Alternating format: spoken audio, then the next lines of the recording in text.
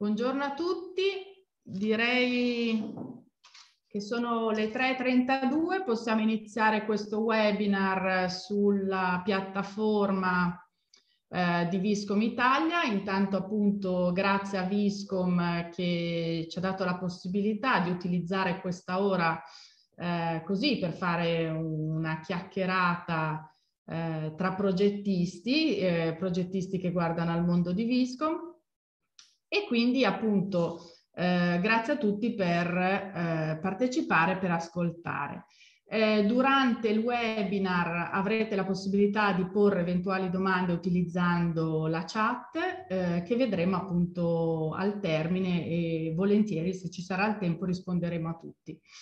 Eh, appunto sabato si è conclusa la versione live di, di Viscom Italia 2021 che è arrivata alla sua 32esima edizione. Noi abbiamo partecipato eh, come Design Wrapping che è un nuovo magazine eh, che, che appunto abbiamo presentato e lanciato in questa occasione ehm, che vuole dedicarsi e, e raccontare quel layer che c'è oggi nell'architettura che non è un layer strutturale, eh, ma è un layer funzionale a eh, rendere eh, sia gli interni che gli esterni dell'architettura eh, più riconoscibili, più accoglienti, eh, a trasformarli diciamo in, in, elementi in grado di comunicare eh, con le persone che li attraversano e che li vivono. In fondo questa cosa di utilizzare le superfici per comunicare è un qualcosa che da sempre fa parte eh, della nostra storia. Eh, e, questi racconti sono sempre diven divenuti allo stesso tempo eh, elemento narrativo e decorativo che potevano servire eh, ad impreziosire degli spazi ehm, oppure per esempio a farli riconoscere, farli identificare ehm, tutto questo uso del decoro, appunto questo, eh, questo desiderio di, di, di, di, creare questo layer aggiuntivo nell'architettura è stato in qualche modo non frenato, però si è certamente evoluto più o meno negli anni 90 quando per tutta una serie eh, di, di, coincidenze economiche, culturali, sociopolitiche, eh, due grandi maestri come John Poson e Silvestrin presero i, gli stilemi eh, di un movimento artistico che era quello del minimalismo e li fecero diventare uno stile architettonico. Eh, diciamo che da quel momento eh, la, la, produzione architettonica ehm, abbandonò tutta questa storia di comunicazione e di decorazione che in fondo fa parte del nostro bagaglio storico, ehm, per appunto creare degli ambienti molto più eh, puliti. E, e, questo approccio ehm, quasi monocromatico di volumi molto semplici ci ha accompagnato sostanzialmente eh, negli ultimi 30 anni spaziando non solo nell'architettura ma anche eh, negli oggetti di uso comune piuttosto che eh, nella comunicazione, in tutti gli ambiti che fanno parte della nostra vita. Eh, sul finire degli anni 10 eh, però sono iniziati, come dire, a comparire qualche germe che intaccava questo tutto bianco. Eh, sicuramente anche frutto dell'evoluzione della ricerca tecnologica, per esempio di, di, tutte le aziende che abbiamo incontrato durante Viscom,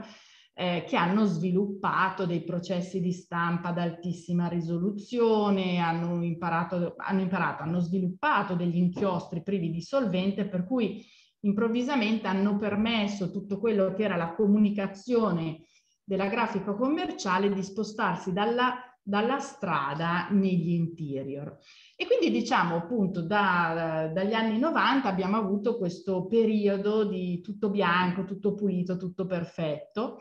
eh, che si è poi declinato un po' nelle 50 sfumature di grigio più o meno dalla fine degli anni 10 a oggi, eh, creando comunque sempre un, una grande eh, raffinatezza. Eh, poi a un certo punto totalmente inaspettatamente, ci si immaginava sarebbe stato quello che i tecnici chiamano FAD, cioè un fuoco di paglia, una moda eh, estiva, è arrivato questo fenicottero rosa che tutti pensavamo appunto non sarebbe durato,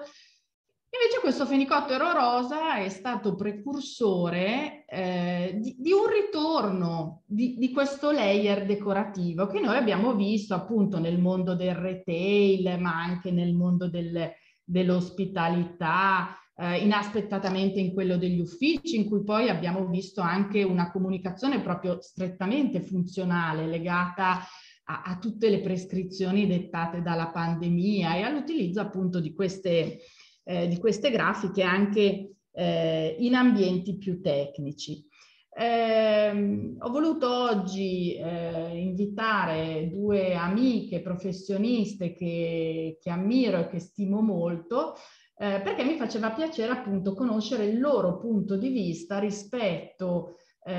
a questo mm, ritorno, se di ritorno possiamo parlare, di comunicazione eh, negli interni e negli esterni dell'architettura. Ehm,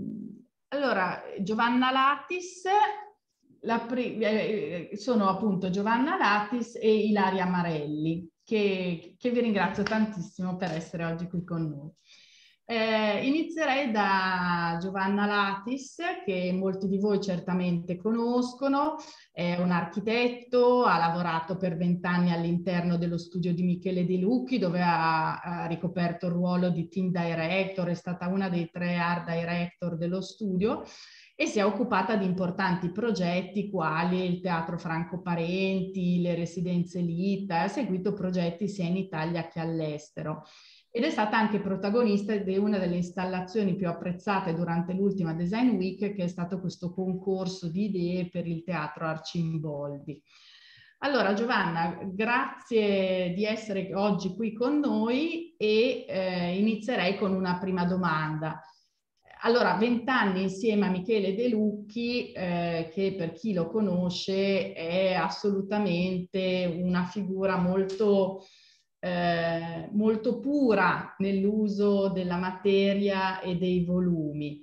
Eh, tu come, come lo vedi, se lo vedi questo ritorno al decoro e comunque questo desiderio di caratterizzare gli interni? Beh, intanto grazie a te Paola per l'invito a partecipare a questo webinar e ehm,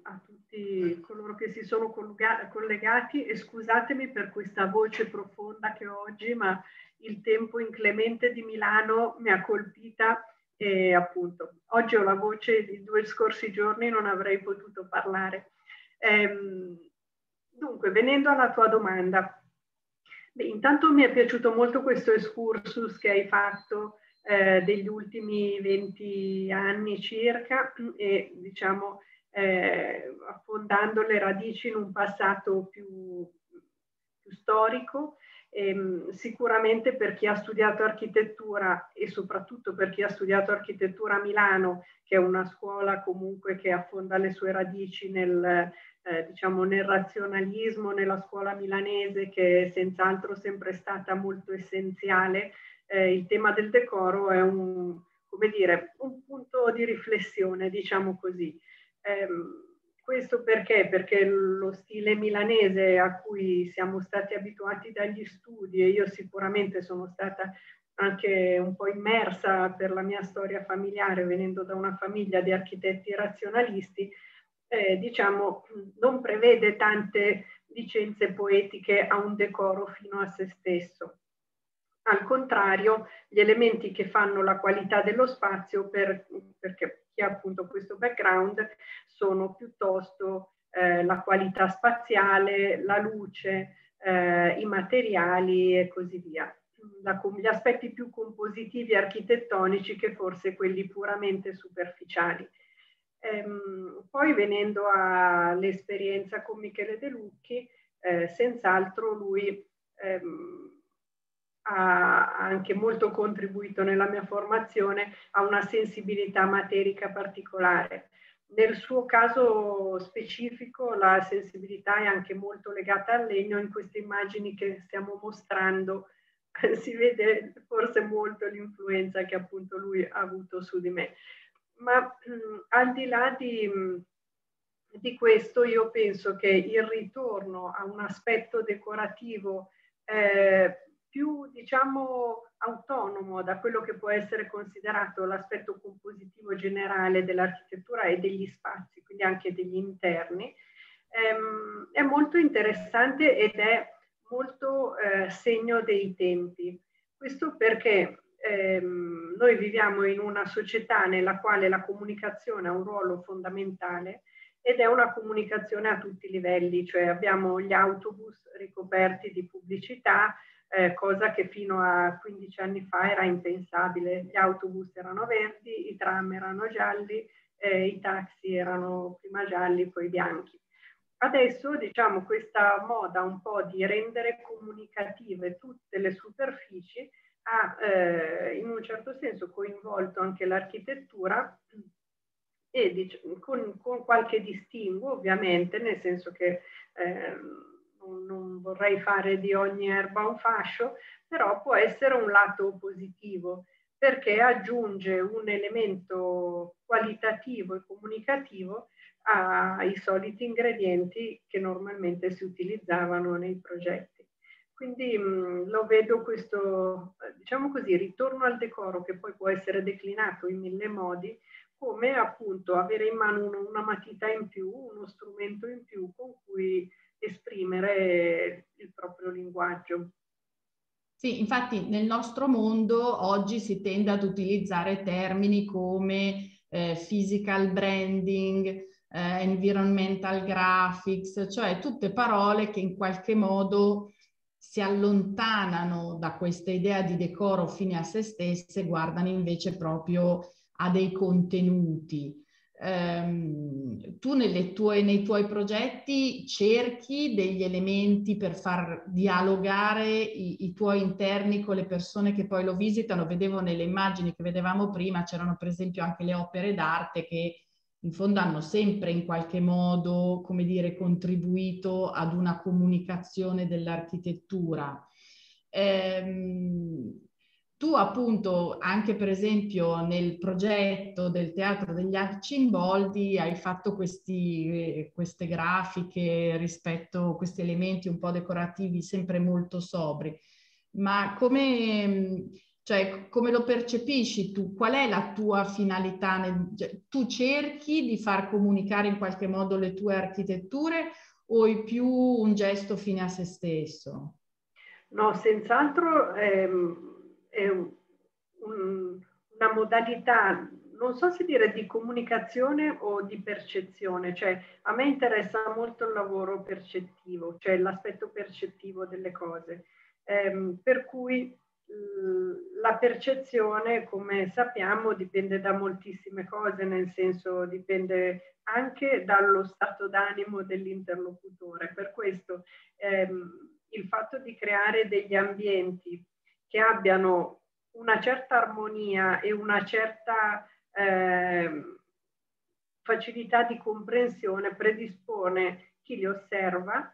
a porsi delle domande e a sentire un'atmosfera che magari gli permette poi di capire meglio alcune scelte progettuali oppure semplicemente di sentirsi meglio, sentirsi più a suo agio e stare bene. Quindi l'aspetto percettivo eh, è finalizzato sicuramente a un, a un comfort rivolto all'utente finale. E se vogliamo commentare queste immagini che abbiamo sotto in questo momento, appunto il camerino del Teatro Arcimboldi, ehm, questo è un, proprio l'ultimissimo progetto presentato per il Salone. Ehm, e in questo caso siccome l'ambiente era piccolissimo, ma una, un esercizio di miniatura, cioè 12 metri quadri, in un ambiente che aveva delle preesistenze, come ad esempio delle piastrelle grigie che erano una eredità del progetto Gregotti. Ehm,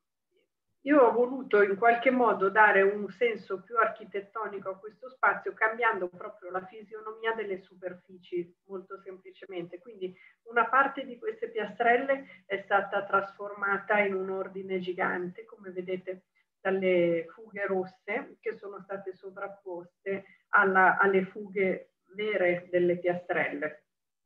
Questo modo, da essere piastrelline di 10 cm per 10, sembrano quasi dei conci di pietra architettonici. Quindi la percezione di chi guarda eh, trasfigura completamente quella che è la realtà della materia. E per contro la parete adiacente sulla sinistra è una parete che ha un effetto quasi di foglia d'argento e anche qui quindi è un materiale sovrapposto ad un altro che impreziosisce la povertà e in un certo senso l'essenzialità di quei conci di cui parlavamo prima. Questo proprio perché l'equilibrio tra una massima essenzialità e un aspetto più ricco, più materico, a mio avviso dava un comfort nel bagno che, che dava maggiore piacevolezza a questo ambiente. Quindi da una parte la relazione tra le parti, forse tutta mh, essenzialità sarebbe stato troppo, tutto foglia d'argento sarebbe stato troppo. È sempre la ricerca della giusta misura tra le cose in modo tale che si crei un, un'armonia appunto di base e una capacità di eh, legare i diversi elementi del progetto. Allora, mentre parlavi a un certo punto hai detto in questo progetto c'è stato un po', diciamo, uno scollamento tra quella che era la struttura architettonica e quella che poi è diventata eh, la pelle finale. Questo mi porta a chiederti un commento su questo progetto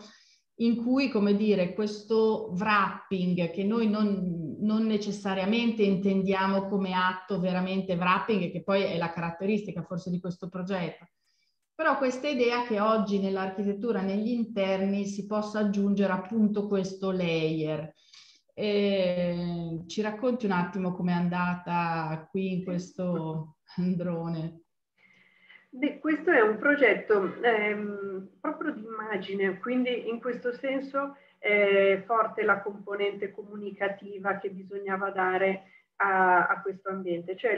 l'androne d'ingresso di un palazzo degli anni 50 che è la sede centrale di una grossa società milanese. Ehm, essendo un androne d'ingresso c'erano alcune caratteristiche diciamo spaziali di quegli anni che erano assolutamente da valorizzare, prima tra tutte il pavimento, che è un bellissimo pavimento di marmo calacatta che oggi sarebbe quasi improponibile per il costo e la fattura. E poi c'era una reception terribile, che vorrei, avrei voluto mandarmi le, mandarvi le foto del prima. Questa reception è la prima cosa che uno vede quando uno entra in questo ambiente. Quindi il tema in questo caso, per esigenze di velocità di appunto adeguamento al Covid e di, anche di budget è stato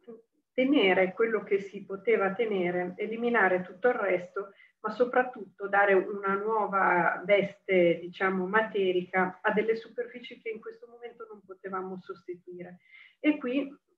Paola, mi è venuta in mente 3M e le pellicole, dove eh, come già parlando con te abbiamo, abbiamo avuto modo di approfondire, sicuramente eh, il tema di rivestire con delle pellicole dei materiali facendoli sembrare altri materiali è un tema filosofico per un architetto oggi, nel senso che eh, ci si pone il tema del vero falso, di quanto è legittimo eh, falsificare appunto una superficie e così via. In realtà questo, questo scusa è... se ti interrompo, su questo proposito eh, segnala appunto a tutte le persone che ci stanno seguendo che sulle pagine di Design Wrapping eh, c'è l'intervista appunto per intero in cui abbiamo un po' sviscerato questa tematica dei, dei materiali per cui invito tutti a, a leggere appunto questo testo. Scusa, vai. Ecco, ehm, io lo trovo molto interessante il lavoro che ha fatto 3M e con 3M e altre società eh, sul tema della, dei materiali fotografati, soprattutto da quando questa, questi prodotti hanno acquistato veramente una qualità ehm, diciamo, di rappresentazione e anche tattile veramente molto preziosa. Ehm, Qui apro una piccola parentesi su quelli che sono gli aspetti che hanno influenzato la mia formazione. Tra questi sicuramente c'è il Giappone, il suo modo di costruire e il, suo mondo. In Giappone le pellicole adesive sono diciamo il pane quotidiano e le costruzioni sono costruzioni molto spesso leggere, cioè non, non sono abituati a parte qualche raro caso monumentale, però nell'architettura corrente ad utilizzare la pietra vera, il legno vero, o meglio, in certi casi, ma non sempre, soprattutto con una capacità di mescolare quello che è vero e quello che è riprodotto, che diciamo confonde in un certo senso eh, l'occhio di chi guarda. In questo caso cosa abbiamo fatto? Abbiamo eh, trasformato di fatto dei serramenti in alluminio neri molto pesanti in serramenti con una finitura bronzata grazie appunto a un'applicazione di pellicole, poi sono state opacizzate alcune superfici vetrate e è stato creato un mix di superfici di legno vere con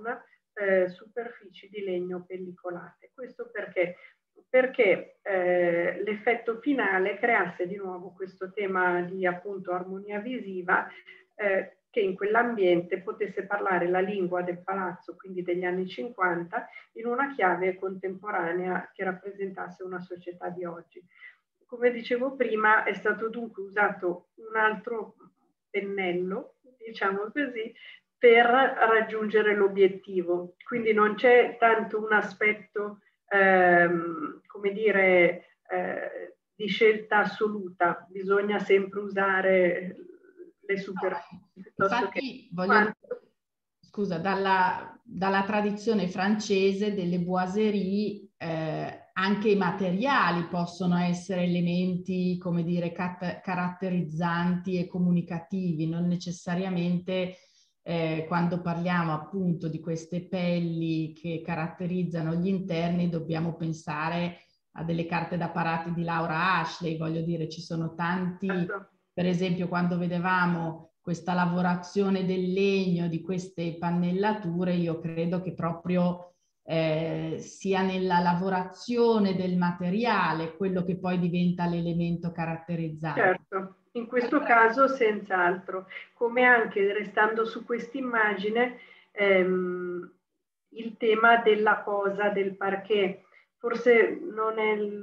pienamente leggibile, ma il disegno con cui è posato un parquet ad oghe in questo caso è un fattore decorativo importante, nel senso stabilisce una sorta di passatoia nel corridoio e poi dei tappeti che si sfrangiano lungo le stanze. Quindi un materiale che potrebbe essere posato in modo molto diciamo uniforme, in questo caso è stato usato in modo decorativo per dare da una parte una maggiore qualità grafica e dall'altra anche un, quasi un orientamento, una direzione sui percorsi.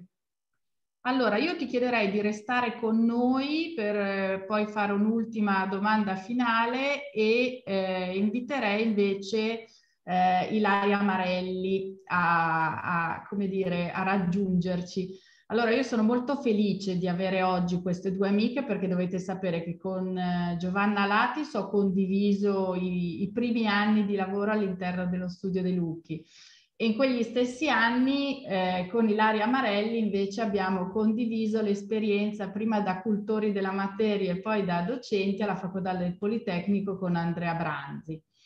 Eh, Ilaria è eh, anche lei architetto di formazione, eh, ha poi però, eh, anzi ha, anche, non però, dedicato parte della sua professionalità proprio al design, disegnando dei prodotti che sono diventati delle icone, anzi alcuni sono anche stati esposti durante l'ultima Design Week in questa selezione del design al femminile e ha disegnato eh, prodotti che sono appunto in produzioni per brand quali Cappellini, Etimo, Foscarini, Nemo e, e poi tanti altri. E parallelamente ha lavorato come art director eh, per diverse aziende.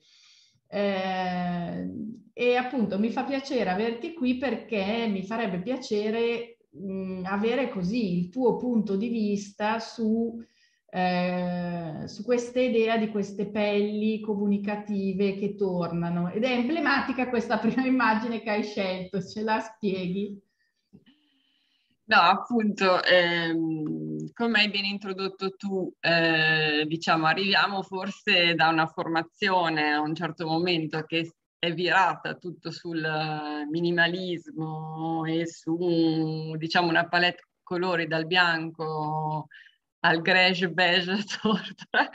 e no, mi è piaciuto mettere come prima immagine questo che in realtà è stato il mio primo lavoro internazionale, un negozio che ho fatto 15 anni fa a Tokyo eh, che appunto era Total White, eh, un Total White studiatissimo per cui il bianco del soffitto era più chiaro del bianco delle pareti di modo che poi sembrasse tutto bianco effettivamente dello stesso tipo, però effettivamente pienamente in questa, in questa logica. E devo dire che eh, non era tanto per me una questione di moda, nel senso che un po' mi piace, devo dire, comunque questo tipo di, eh, come dire, di architettura e mi sono trovata a essere più decorativa quasi per gioco, per altri incarichi, eh, però una delle cose che mi piace progettare di più è la luce, e sia nel prodotto sia poi negli interni degli allestimenti, per cui mi capita anche spesso di giocare comunque con uh, il bianco, con i toni di bianco proprio per creare questa atmosfera. Devo dire che a livello culturale eh, c'è anche da dire che al di là della formazione politecnico che era abbastanza rigorosa, è proprio un po' la cultura della, dell'architettura italiana che è molto diversa da quella eh, non so, di formazione più inglese, nel senso noi non siamo nati e cresciuti abbinando carte da parati di interior design, appunto. Citavi Laura Ashby, ma ci sono tanti brand, per cui diciamo uno che ha una formazione da interior design nei paesi anglosassoni, eh, comunque due carte da parati, due tappeti e altri tipi di cose li ha visti passare, mentre noi eravamo più sull'aspetto proprio architetturale degli spazi, dei giochi di pieni e vuoti, della luce, quindi è anche proprio un po' un discorso di formazione. Devo dire che eh, nel mio caso la formazione, ecco, questa è la fase, non, ma non è neanche una fase B perché eh, alcuni di questi poi sono posteriori ad alcuni che vediamo dopo, però ehm, a un certo momento della mia carriera, proprio in realtà lo stesso anno in cui ho fatto il negozio tutto bianco, sono stata incaricata della direzione artistica di una sezione di Pitti Uomo prima, quindi questi sono tutti progetti per Pitti Uomo,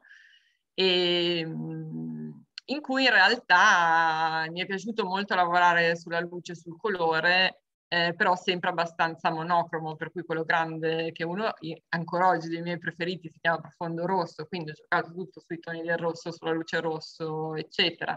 Eh, l'altro più piccolo sui toni del nero, sui toni delle... quello sopra è tutto, in realtà lo spazio era tutto bianco, erano solo le luci colorate, un po' rubando da Dan Flevic un po' l'idea e quello sotto invece era su questi toni che invece è molto recente sui, sui toni comunque del blu. E, ehm, questo perché in realtà nella mia, cioè io lavoro prevalentemente diciamo anche sugli interni con le aziende, quindi sono magari brand di moda o, o anche brand, non so adesso sto facendo dei progetti per Electrux, però in generale con, con delle aziende, non con dei privati. Per cui il tema un po' della rappresentazione di sé è uno dei temi e del, del physical branding è proprio un tema fondamentale. Ovviamente se fai un interno privato c'è un physical branding di quello che la coppia vuole esprimere nei propri interni, però ovviamente è, è un lavoro un po' diverso. E quindi sugli interni di questi spazi moda, diciamo, il fatto di lavorare su delle, di qualcosa di molto eh, importante era a livello di, di, impatto anche emotivo, era abbastanza fondamentale. Eh, a un certo momento l'incarico da PT Uomo è passato a PT Bimbo e in un certo senso naturalmente eh, diciamo il tipo di racconto che sull'uomo poteva essere più sobrio su, sul bimbo è diventato anche un po' più gioioso, giocoso, no? E, ehm, e qui mhmm, l'ho sperimentato in varie forme, ad esempio in questo caso eh, mi piace, ecco, mi piace quando faccio le finte, diciamo, che siano delle finte dichiarate, quindi in questo caso in uno dei corridoi ho ricostruito eh, i portici di Bologna, quindi chiaramente tutte le foto sono dei trompe-l'œil scala 1 a 1, eh, quindi c'è l'elemento fisico che è il vero tavolino, la vera pianta, il, il vero decoro di un, diciamo, di un portico, però chiaramente poi tutti gli sfondati sono sfondati fotografici, però eh, è abbastanza chiaro cosa è vero, cosa è finto, ma comunque c'è questo, c'è questo effetto di, di, diciamo, di essere in, eh, inseriti in un ambiente quasi reale. E ho messo degli altri esempi. In realtà per loro, visto che hanno sia l'edizione estiva che invernale, penso di aver fatto proprio una trentina di allestimenti, per cui ogni volta era anche un po' da reinventare il tema e ogni volta ecco il, proprio la stessa manifestazione ha un tema generale per cui il progetto doveva anche abbinarsi a quel, qual era il tema generale della manifestazione. Per cui questo è un altro esempio in cui ho usato i temi grafici, quindi la carta da parati, e in questo caso invece le piante sono finte, diciamo, disegnate, la carta da parati è molto effetto bambino e quindi un, un aspetto un po' grafico cartoon, mentre se vai a quello dopo, questo qua è stato il mio massimo di tripudio di, di grafica.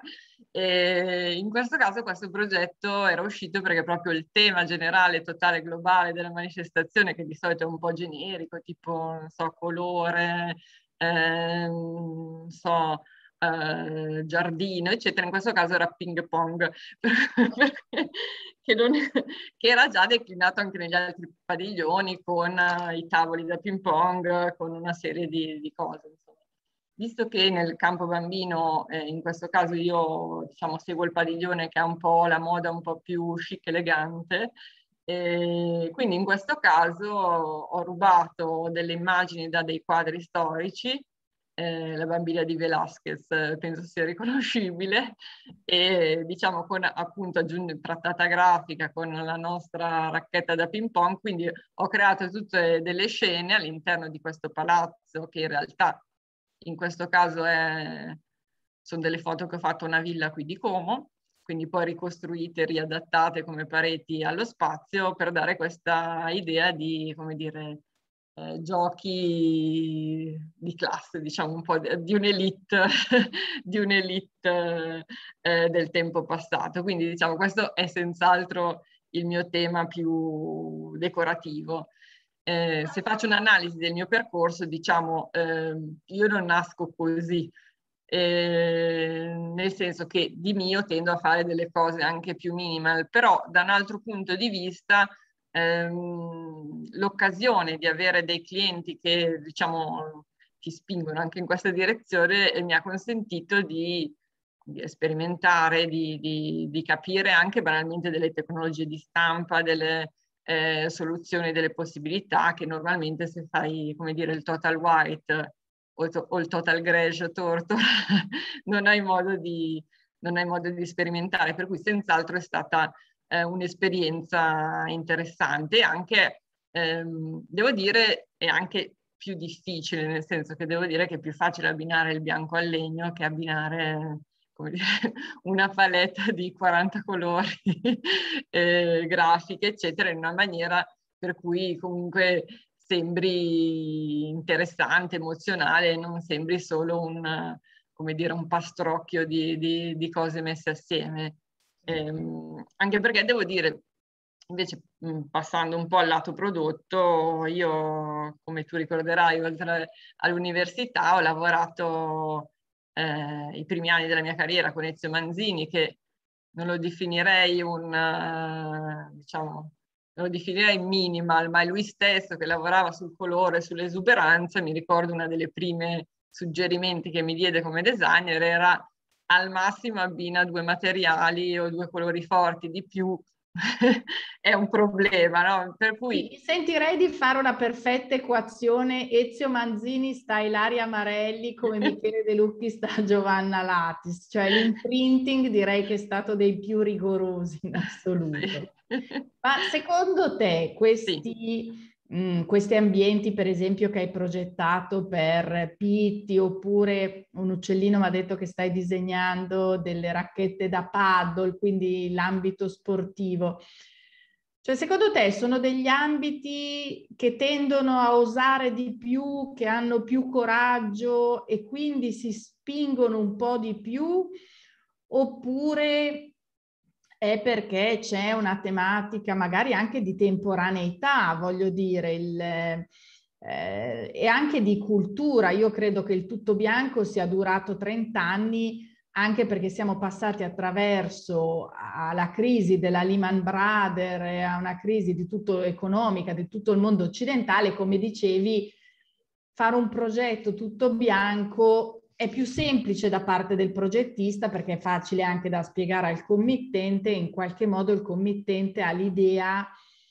di stufarsi meno. Allora, una cosa che a me ha sempre colpito è che spesso si predilige il tutto bianco perché è più luminoso, no? Poi però se pensiamo ai decori della villa Pompe- eh, di Pompei fatto con rosso Pompei ed erano illuminate con delle fiaccole perché non, non esistevano certo le luci che abbiamo noi oggi, no?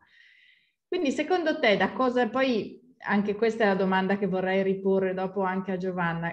Che cos'è che frena nell'utilizzo appunto di, di, di questi elementi decorativi e che tutto sommato spinge ancora oggi, come dicevi, verso le tonalità di grigio e di beige? Ma da una parte sì, devo dire che il fatto di in alcuni miei lavori di poter osare di più è vero che perché eh, da una parte il settore moda, sportwear e in questo caso anche degli allestimenti, nel senso sono cose che durano pochi giorni, quindi punti più all'effetto anche, devo dire un po' anche l'effetto wow, il coinvolgimento. Negli ultimi anni poi c'è stata anche questa deriva eh, del, dell'instagrammabile, per cui quasi devi, quando fai dei, soprattutto dei progetti di exhibit, devi farli quasi pensando a un formato quadrato della foto, perché poi è quello che viene bene, no? e, e senz'altro su Instagram e sui canali di comunicazione il colore o qualcosa di particolare ha più successo invece viceversa che il total white, quindi non so se questo improvvisamente cambio verso il decorativo, verso il colore, anche un po' come dire Pinterest e Instagram style, oltre che perché è, un, diciamo, è una nuova direzione di, a, a livello di gusto. Dall'altra un po', son, cioè non sono per il, il grege, il bianco to cure, però è anche vero che, come dire, se io vivessi in una cosa così come questa che vi ho mostrato, ecco, dopo magari un paio di settimane, un po' troppo. però, come dire, da questo al total white ci sono in, infinite sfumature di colore, di decori, di... e mi sembra che però in generale... Eh, diciamo, gli studi di interior decoration, chiamiamo, che adesso sono più in voga, in realtà lavorano molto col colore, con uh,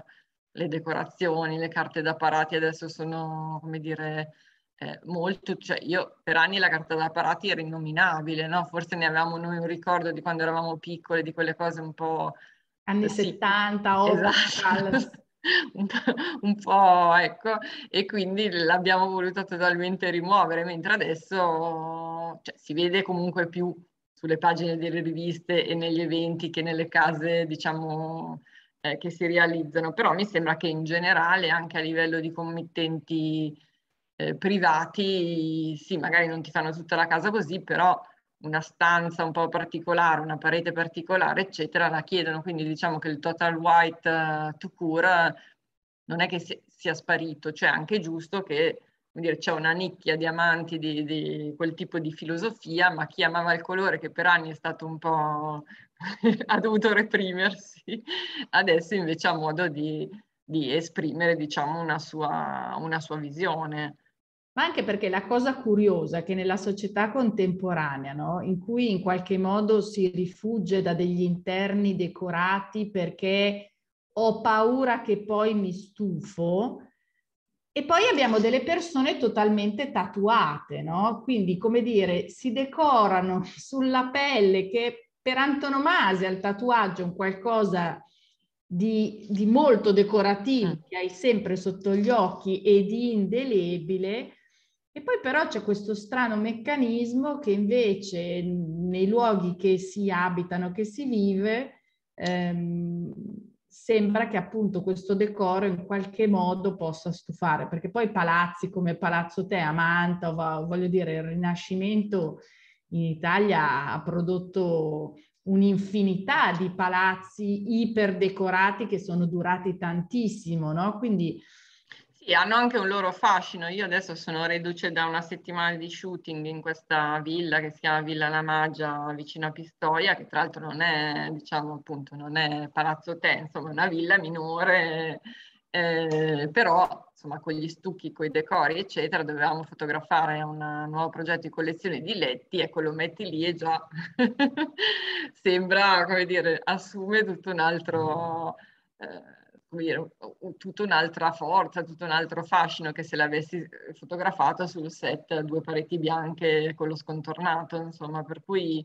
ehm, e lo guardavo proprio, hai degli abbinamenti anche di, di colori, di superfici, di materiali che in effetti, come dire, ripresi oggi in maniera contemporanea sono assolutamente attuali eh, magari non il putto con lo strascico, eccetera, però diciamo proprio se guardi i colori del putto e i colori dello sfondo, eccetera, li ripensi in un interno, sono colori che proprio stanno bene, insomma, per cui ehm, è proprio un po' da una parte da rieducarci noi come architetti, nel senso a, eh, in Italia forse c'era anche questa divisione tra l'architetto e l'interior decorator in cui si guardava l'interior decorator come la serie A2, la serie B, no? Per cui in realtà cioè, l'imparare sugli interni, a lavorare sui colori e decorazioni è proprio qualcosa che va, eh, che va studiato, imparato, bisogna aggiornarsi, eccetera. Quindi dobbiamo rifarci un po' una cultura, un occhio e poi saperlo anche raccontare ai clienti, perché tante volte appunto banalmente mostrando degli esempi, mostrando delle soluzioni, riesci anche a fargli capire che in effetti eh, una determinata soluzione, magari che gioca sul colore e sulla decorazione, può, avere, può essere più eh, coinvolgente di quella invece della più facile. Io più che Total White, veramente ultimamente il Total Grege Tortora. Quanta sfumatura di grigio. Ormai quando sento Tortora ho un attimo di difficoltà, devo dire. No, ma in effetti voglio dire, a me capita spesso anche con gli studenti al Politecnico di, di sottolineare la differenza tra un artista e un architetto e, e, e, la grande discriminante è che l'architetto lavora per un committente, quindi il tema di raccontare l'idea di progetto, di trasmetterla e di convincere è sicuramente una parte molto, molto importante ed è forse più semplice far digerire qualcosa di semplice e lineare che non un qualcosa eh, di più elaborato. E Giovanna è ancora con noi, magari le chiedo se accende anche lei la telecamera così facciamo un'ultima chiacchierata a tre. Le, che mi ha dato la mail dicendo le ragazze, riteniamoci ancora ragazze. No, allora io volevo chiedervi questo. I, Ilaria ha accennato al tema appunto di Instagram, no? Gli interni oggi devono essere eh, insta-worthy, cioè devono meritare di essere pubblicati. Eh, Giovanna hai da poco progettato un camerino per un teatro che è sicuramente, come dire, un qualcosa che fa parte dell'immaginario scenografico eh, forse stiamo assistendo un po' a una convergenza tra quello che era l'interior design del cinema, delle scenografie e quella che era eh, invece l'architettura pura a cui accennava anche Giovanna con questa impostazione razionalista che, che, che in fondo noi architetti che abbiamo studiato a Milano, ma credo anche abbastanza a Venezia, Torino, cioè era abbastanza, come dire, un, un'impostazione forse generazionale oltre che locale. Eh, secondo voi che direzione prenderemo? Cioè, da un lato appunto abbiamo degli interni che sono fatti semplicemente come photo boot, cioè con, con la mission di poter fare le foto, eh, o di fare il video alle ragazzine, il video su TikTok e dall'altra invece c'è ancora De Lucchi ci insegna la ricerca dei materiali genuini ai volumi. Eh, Prima Giovanna, poi Ilaria. Secondo te da che parte stiamo andando? Posso parlare più per un auspicio che per una predizione, nel senso mi piacerebbe che stessimo andando in una direzione in cui stiamo costruendo un modo di oggi di fare le cose, dove sicuramente il tema scenografico diventa importantissimo, anche per questo aspetto appunto della eh, diciamo fotografabilità e quindi di essere sempre un po' in una scenografia. Però questo è un tema che mi, mi, mi intriga e mi interessa soprattutto perché il tema della scenografia è un, dire, un, terreno di sperimentazione. In una scenografia teatrale si possono usare delle cose che forse per un cliente non si userebbero e per me questo è stato l'esperienza del camerino, cioè sapendo di operare in quell'ambiente anche se in maniera permanente, cioè non era un'installazione temporanea ma il camerino resterà per gli artisti, ho deciso di provare un po' di soluzioni anche abbastanza estreme che forse appunto davanti a un committente unico, non so, avrei esitato un attimo di più.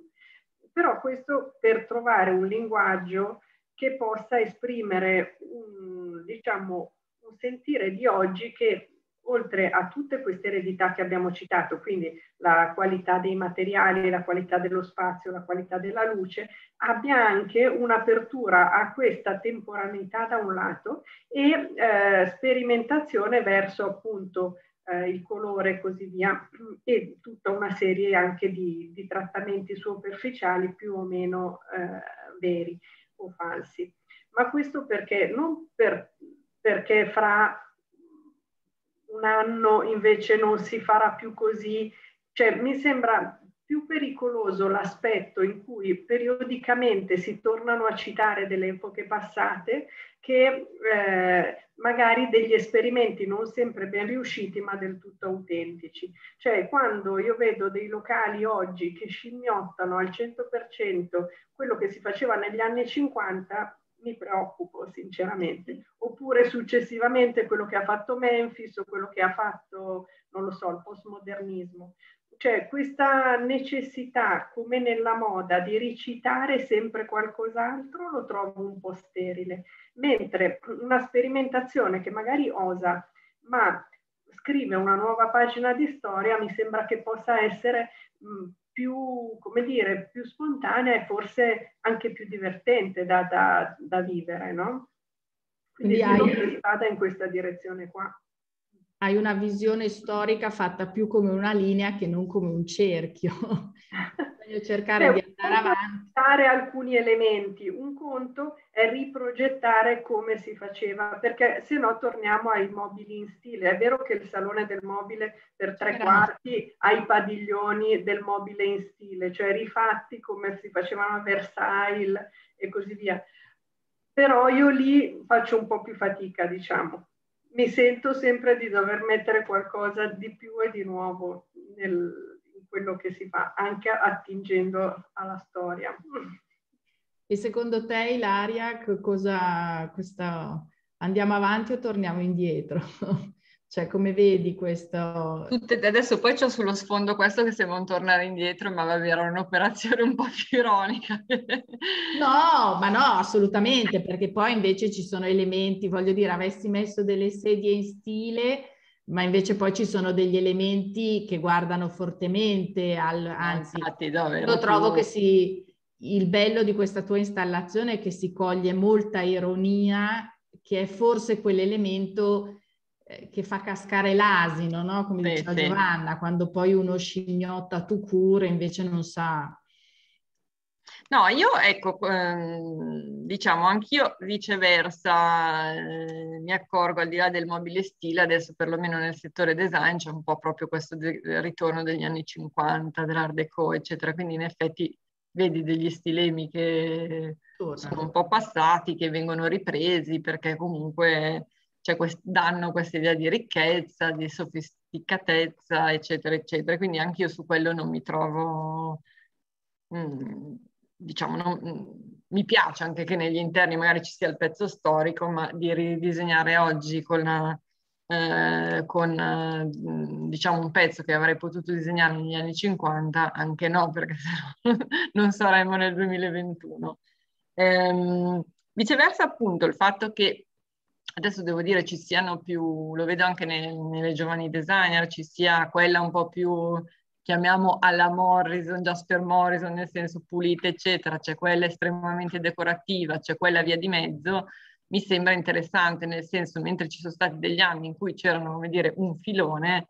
eh, oggi mi sembra un momento in cui ci sono diversi filoni, anzi nel mondo del design forse questo decorativo è anche uno di quelli più,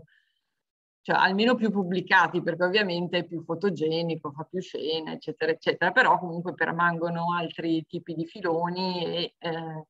soprattutto quando parli con le aziende, va bene l'oggetto iperdecorativo, magari per la copertina del decor, però poi se devo produrre, vendere, fare dell'altro, lavoriamo anche su altri temi. Um, uno dei temi però che mi sembra interessante è anche il tema, diciamo, della sostenibilità. Per cui, che adesso sembra calato qui così, sostenibilità, però effettivamente è un tema un po' di svolta, nel senso che sia sul prodotto che come lo costruisci, sui materiali, eccetera, eh, cioè è un tema che, che svolta abbastanza, come si costruiscono i prodotti, il tipo di prodotti, anche il tipo di finiture, per cui senz'altro è una, una direzione che ci darà delle indicazioni a livello di, eh, di innovazione, a livello del, dire, dell'universo materiale che ci troviamo intorno, insomma. Sì. E per cui sì, dei prodotti magari che facciamo oggi sostanzialmente sono comunque diversi in maniera innovativa e a livello di, di visivo, a livello tattile, a livello di qualità dei materiali da quelli che si facevano diversi anni fa. Per cui è senz'altro un, come dire, un tema di lungo termine, perché appunto cioè io ci ho fatto una tesi vent'anni fa con Manzini, per cui non è proprio il tema di, cioè adesso è molto cool, ma diciamo è un tema di lungo termine eh, che però adesso finalmente sta avendo anche riscontri sulla, sull'universo materiale che ci circonda.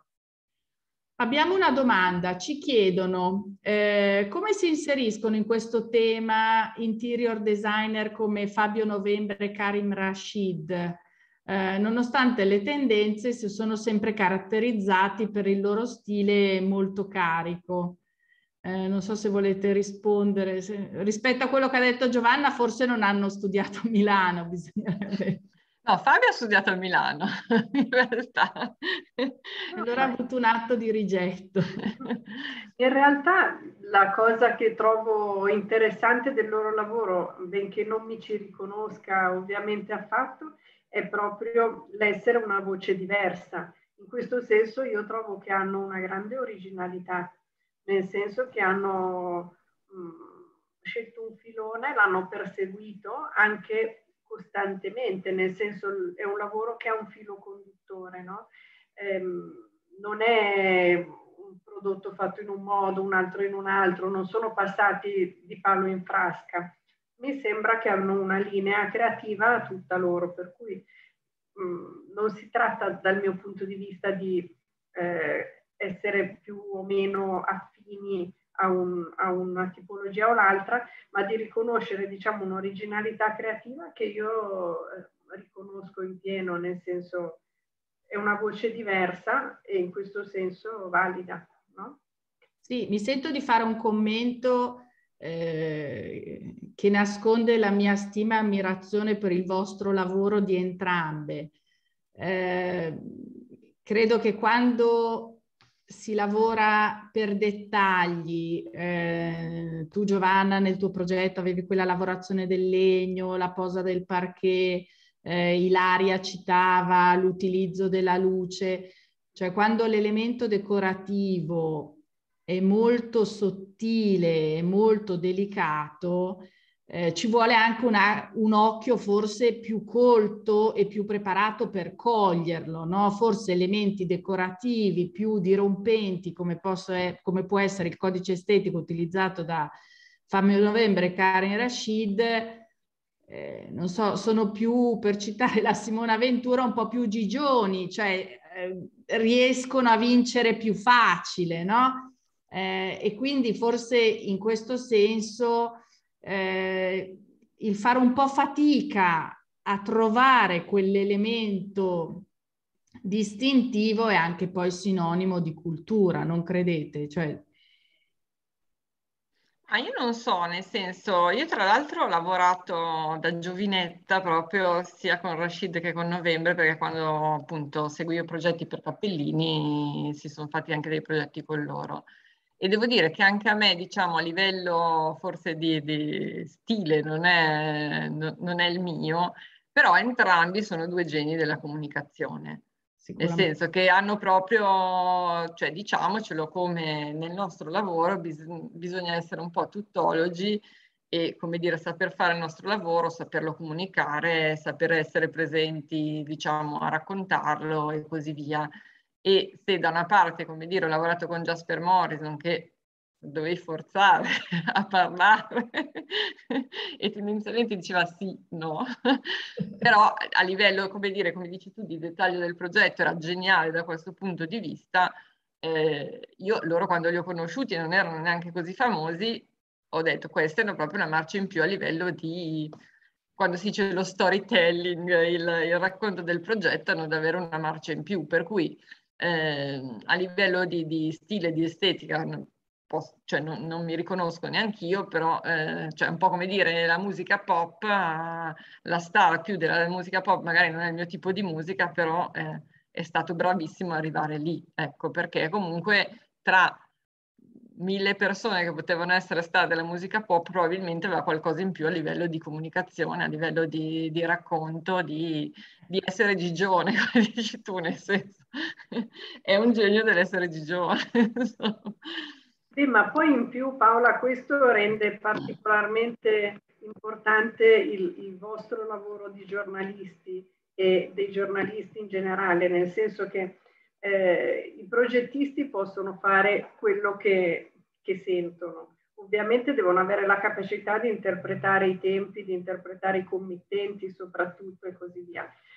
Poi sta anche alla critica, diciamo, dare i giusti pesi, perché chiaramente eh, è vero che ci sono delle situazioni molto più wow che a volte sono di qualità, a volte non lo sono affatto e a volte sono meritevoli di durare nel tempo e altre no.